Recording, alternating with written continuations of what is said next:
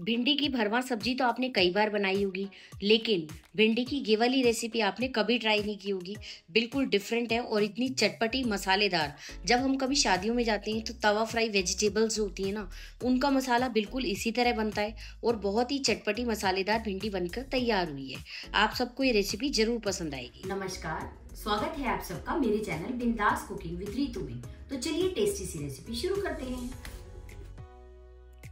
इसको बनाने के लिए सबसे पहले मैंने एक कटोरी नमकीन ली है। कोई भी नमकीन ले लीजिए, गाठिया हो, सेव हो अक्सर क्या होता है, बारिश के मौसम में नमकीन सील जाती है और हम सोचते हैं इसका क्या करें। तो आज मैं इसको एक बहुत बढ़िया तरीका आपको बताने वाली हूँ, जो आपको बहुत ही टेस्टी और बढ़िया भिंडी की सब्ज़ी बनाकर देगा। इसको मैंने एक कटोरी जो है नमकीन ली, कोई भी नमकीन हो, मिक्सी में अच्छे से पीस लेंगे। इसके बाद हम एक फ्राइंग पैन के अंदर सिर्फ़ एक टेबल स्पून ऑयल गर्म करेंगे। सरसों का तेल लिया आप चाहे कोई भी ऑयल ले सकते हैं। आधा चम्मच जीरा एक चम्मच दरदरी पीसी हुई सौंफ डाल देंगे, आधा चम्मच कलौजी डाल देंगे। ये राजस्थानी अचारी भिंडी की रेसिपी है। और खाने में बहुत लाजवाब बनी है। अगर आप सबको रेसिपी पसंद आए तो प्लीज़ चैनल को सपोर्ट कीजिए लाइक शेयर और सब्सक्राइब ज़रूर कीजिएगा। अब इसके अंदर हम डाल देंगे वन फोर टी स्पून हींग और एक चम्मच मैंने इसके अंदर धनिया पाउडर डाल दिया है। गैस का फ्लेम बिल्कुल लो रखना है और लो फ्लेम पर हम मसालों को बीस से पंद्रह सेकेंड जो है आराम से भून लेंगे।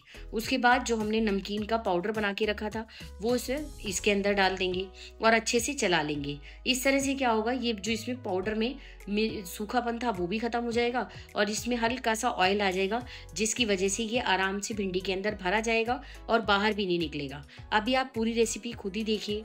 उसके बाद मुझे पूरा यकीन है कि आपको ये रेसिपी अपने आप ही पसंद आएगी। अब इसके अंदर हम दो चम्मच के लगभग तो डाल देंगे नारियल का पाउडर अगर आपके पास नारियल पाउडर ना हो तो आप थोड़ा सा सूखा नारियल का टुकड़ा लीजिए और उसे मिक्सी में अच्छे से पीस लीजिए, वो भी डाल सकते हैं। और अगर आपके पास कोई नमकीन ना हो तो उसकी जगह आप आधी कटोरी बेसन जो है, उसको भून लीजिए। अब गैस का फ्लेम हम बंद कर देंगे। फ्राइंग पैन अभी काफ़ी गर्म है और मैंने गैस बंद कर दी है। इसमें डालिए आधा चम्मच हल्दी पाउडर, एक छोटा चम्मच लाल मिर्च पाउडर, एक चम्मच कश्मीरी लाल मिर्च पाउडर। ये कलर के लिए ज़्यादा तीखी नहीं होती। आप चाहें तो स्किप कर सकते हैं। एक चम्मच इसमें नमक डाल दिया। थोड़ा नमक हमारी नमकीन में भी है तो इसलिए सोच समझ के डालिएगा। अब इसमें डाल देंगे सवा चम्मच, यानी एक और वन फोर चम्मच के लगभग अमचूर पाउडर। इससे बहुत ही खट्टा चटपटा टेस्ट आएगा। बस ये कुछ बेसिक मसाले हैं जो घर में ही मौजूद होते हैं। वैसे आप चाहें तो इसमें गरम मसाला डाल सकते हैं, लेकिन जो नमकीन हमने डाली है उसमें काफ़ी गर्म मसाले होते हैं इसलिए मैंने और ज़्यादा गर्म मसाले नहीं डाले। अब हम इसे लगातार चलाएँगे, क्योंकि हमारी नमकीन का जो पाउडर था, ये काफ़ी गर्म था तो मसाले अपने आप इसमें भून जाएँगे, अब इन्हें ठंडा होने देंगे। इतनी देर मैंने क्या किया, भिंडी ली है। ये 400 ग्राम के लगभग भिंडी है, अच्छे से मैंने धोकर, पोंछ लिया और इसका टॉप और बॉटम पार्ट मैंने निकाल दिया है। अब हम क्या करेंगे, इसमें बीच में से इसे चीरा लगाएँगे। इस तरह से बस भिंडी लीजिए और चक्कू से चीरा लगा लगा के फटाफट से। और इनको बीच में से चेक करना ना भूलें। वैसे इस समय तो भिंडी बहुत अच्छी आ रही है, कोई दिक्कत नहीं है, लेकिन अगर भिंडी में कोई खराब हो या काणी हो तो आप साइड में कर दीजिए।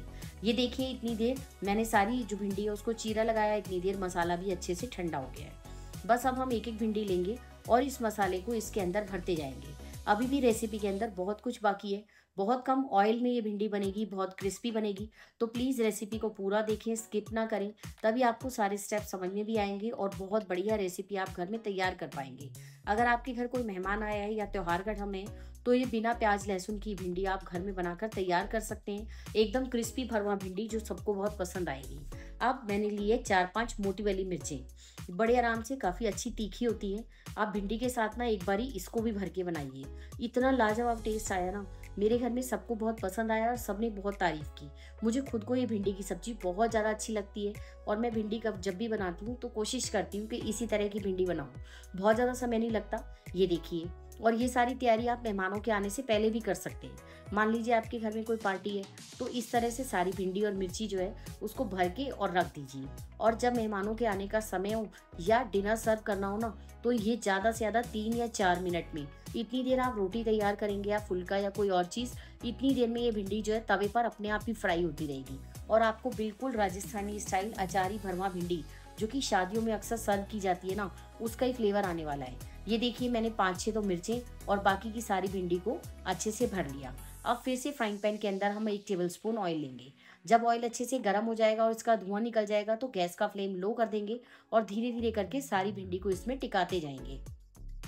भरवा भिंडी बनाने का एक तरीका क्या होता है कि हम सारी भिंडी एक साथ पलट दें और उसको अलट पलट करके सेकते रहें। नहीं, आप इसको इस तरह से सेकिए। ये बिल्कुल तवा फ्राई भिंडी का आपको टेस्ट देगी और बिल्कुल अलग टेस्ट आएगा। अगर आप सबको रेसिपी पसंद आ गई हो तो प्लीज़ सपोर्ट कीजिए लाइक शेयर और सब्सक्राइब कीजिए। बेल आइकन भी ज़रूर प्रेस कीजिए ताकि जितनी भी मैं वीडियोस अपलोड करूँ, उन सबका नोटिफिकेशन आपके पास सबसे पहले चला जाए और आप सबसे पहले जाकर वो सारी की सारी रेसिपीज़ को देख पाएँ।